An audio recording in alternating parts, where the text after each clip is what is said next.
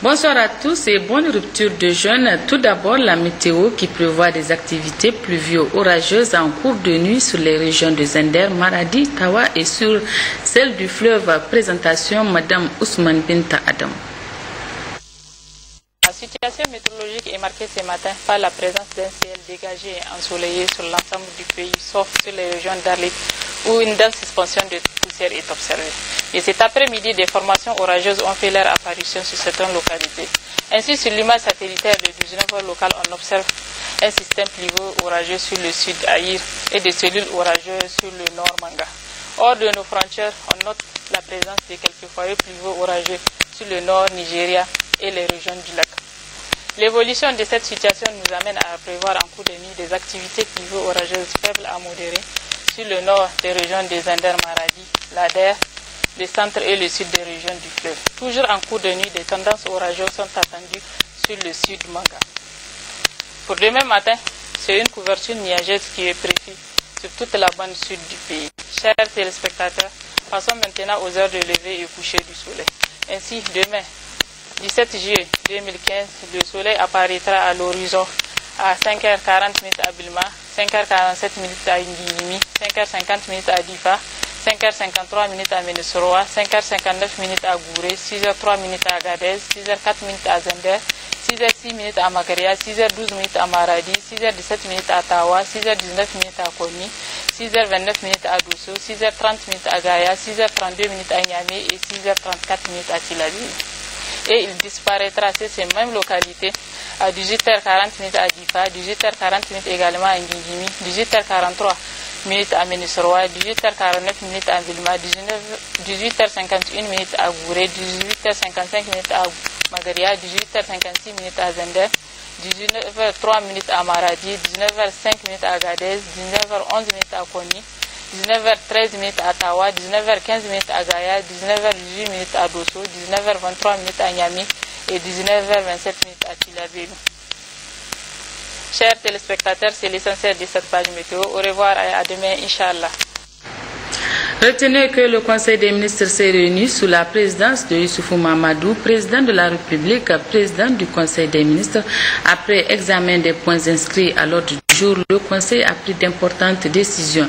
Nous y reviendrons dans quelques instants, le temps de signaler que le croissant lunaire a été aperçu dans certaines localités des régions de Tawa et de Maradi, suivant à cet effet le message livré par le Conseil islamique du Niger.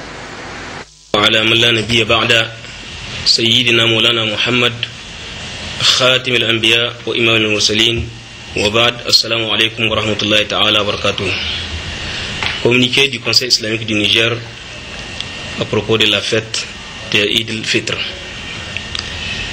Le Conseil islamique du Niger a l'honneur de vous informer que le croissant lunaire du mois de Shawwal 1436 Hijr a été aperçu dans les localités suivantes.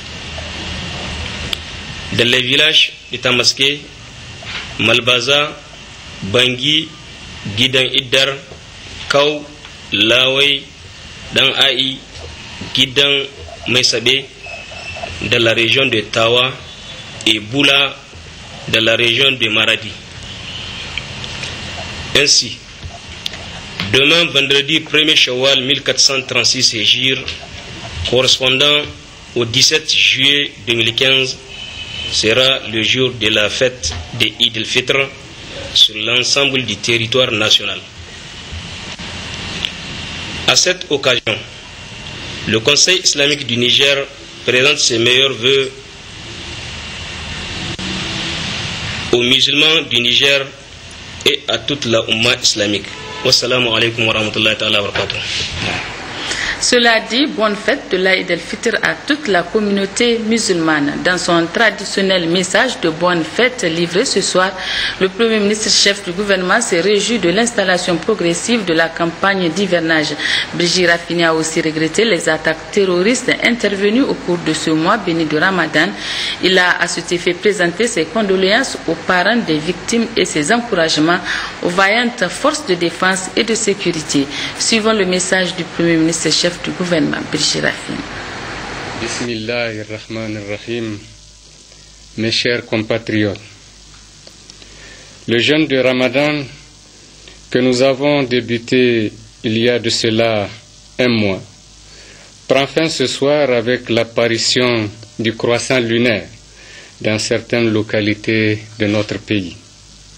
Ainsi donc, par la grâce d'Allah, le Tout-Puissant, le Miséricordieux, et à l'instar de la Oumma islamique, notre pays célébrera demain, Inch'Allah, vendredi 17 juillet 2015, la fête de l'Aïd el-Fitr.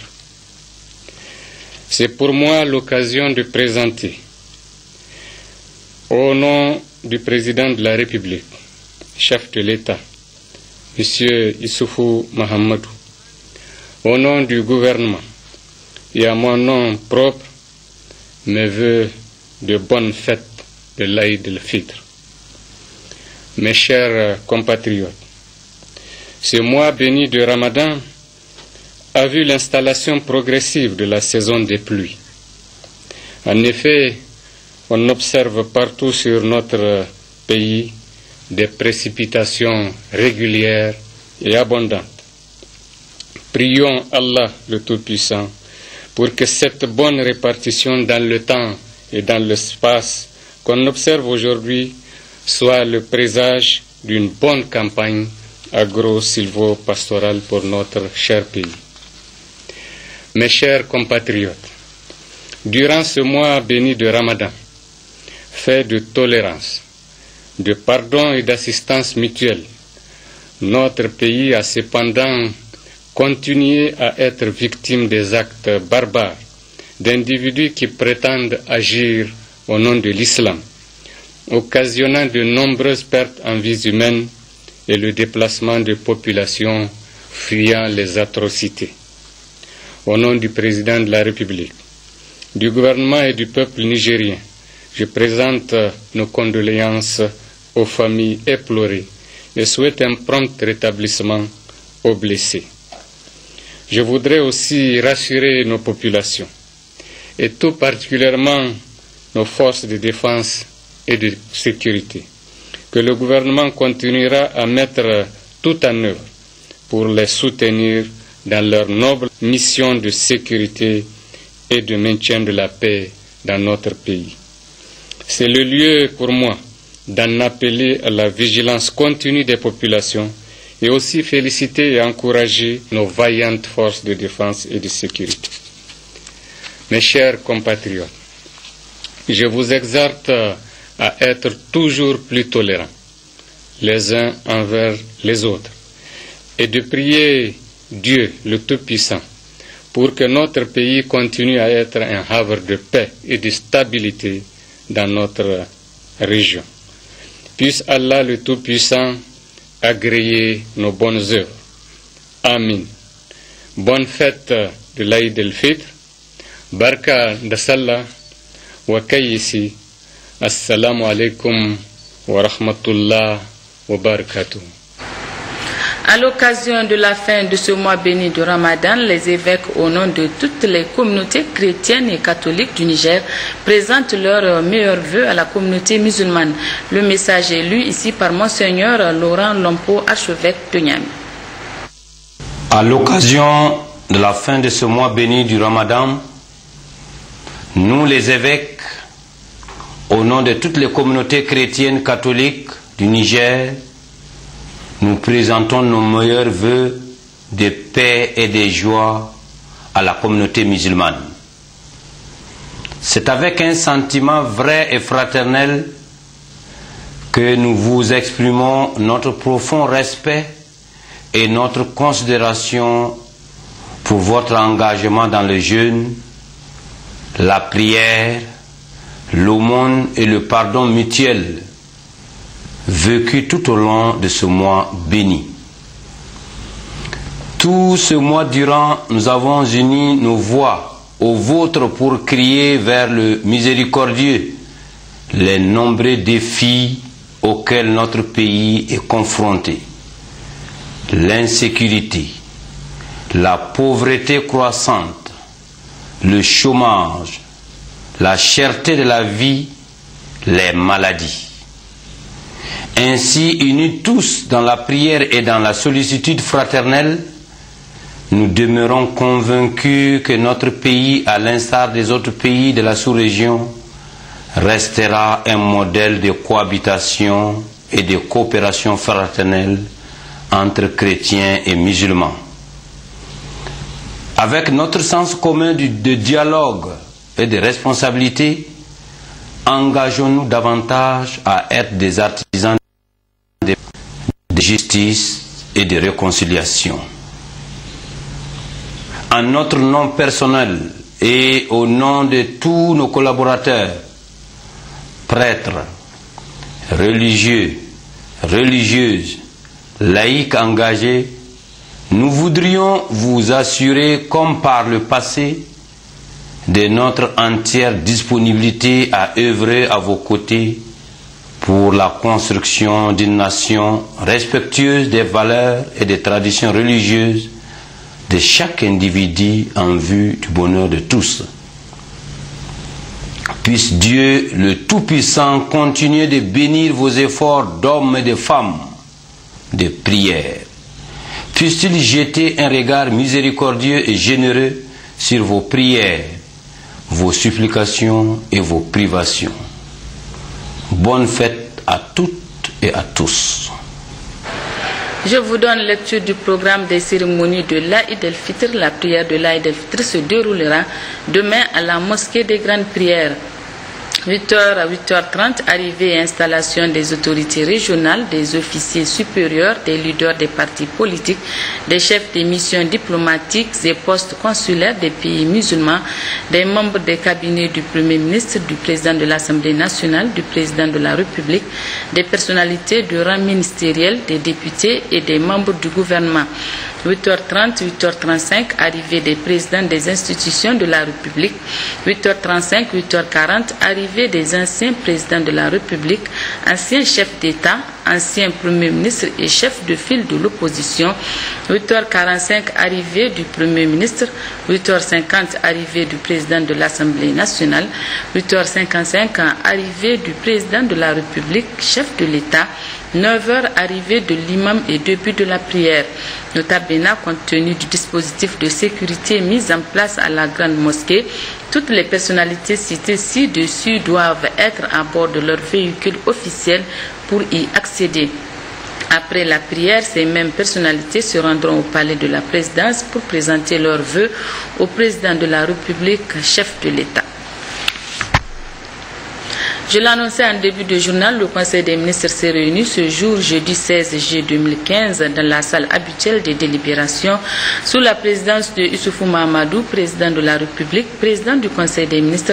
Après examen des points inscrits à l'ordre du jour, le Conseil a pris les décisions suivantes. Moustapha Tinaou pour les conclusions. Au titre du ministère des Affaires étrangères, de la coopération, de l'intégration africaine et des Nigériens à l'extérieur, le Conseil des ministres a examiné et adopté les projets de texte ci-après. Projet d'ordonnance autorisant la ratification de l'accord de prêt numéro 2 NIR 134 d'un montant de 6 444 000 dinars islamiques, soit l'équivalent de 7 300 000 euros, correspondant à 4 milliards 788 486 100 francs CFA, et de l'accord de vente à tempérament des montants ne dépassant pas 4 310 000 euros, soit l'équivalent de 2 milliards 827 174 670 francs CFA, signé le 23 février 2015 à Jeddah entre la République du Niger et la Banque islamique de développement BID, relatif respectivement au financement du projet de soutien au programme national de prévention et de contrôle des maladies au Niger et à l'achat au nom et pour le compte de la Banque islamique de développement BID d'équipement du dit projet. Le présent accord de prêt de NIR 134 a pour objet le financement du projet de soutien au programme national de prévention et de contrôle des maladies au Niger. L'objectif de ce projet est de renforcer le programme national de prévention et de contrôle du paludisme, le programme national d'oncologie et le programme de santé ophtalmologique, dentaire et mentale. Projet d'ordonnance autorisant la ratification de l'accord de prêt d'un montant de 14 480 000 unités de compte, soit l'équivalent de 10 milliards 800 millions de francs CFA relatifs au projet du programme de renforcement de la résilience alimentaire et nutritionnelle au Sahel, P2RS, signé le 27 janvier 2015 à Abidjan entre la République du Niger et le Fonds africain de développement FAD. Cet accord de prêt a pour objet le financement du programme de la résilience alimentaire et nutritionnelle au Sahel.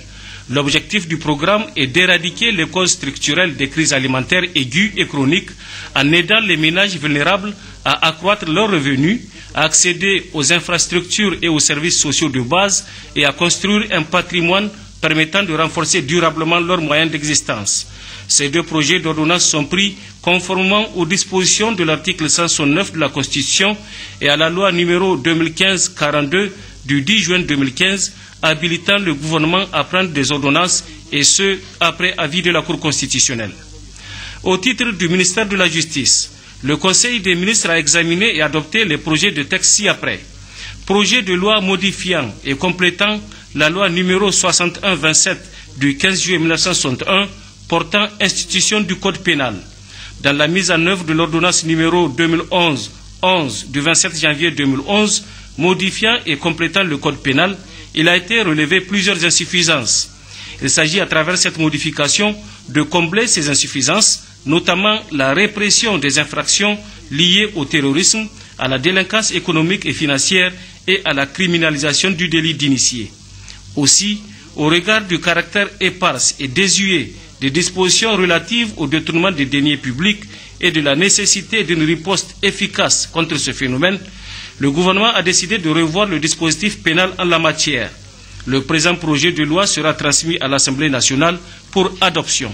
Projet de loi modifiant et complétant la loi numéro 6133 du 14 août 1961 portant institution du Code de procédure pénale. Le présent projet de loi est initié pour permettre aux juridictions de disposer de textes modernes et mieux adaptés afin de lutter plus efficacement contre toute forme de criminalité. Cette modification vise essentiellement à combler les insuffisances constatées dans la pratique au niveau des textes de procédure pénale, notamment en matière de terrorisme et de détournement de deniers publics. En effet, le terrorisme est un phénomène qui dépasse la sphère d'un seul État pour devenir un phénomène mondial. C'est pourquoi il est devenu impérieux de revoir en conséquence le dispositif juridique de lutte contre ce fléau. Ce projet de loi sera transmis à l'Assemblée nationale pour adoption. Au titre du ministère du Commerce et de la promotion du secteur privé, le Conseil des ministres a examiné et adopté le projet de loi portant création de la Chambre de commerce et d'industrie du Niger, CCIN. La Chambre de commerce, d'industrie et d'artisanat du Niger, CCIAN, a été créée par l'ordonnance numéro 2009-21 du 3 novembre 2009. En 2012, la section artisanat a été détachée de la CCIAN pour devenir une chambre à part entière. Le présent projet de loi est initié pour refondre l'ordonnance visée si haut afin de conformer les textes à cette nouvelle configuration.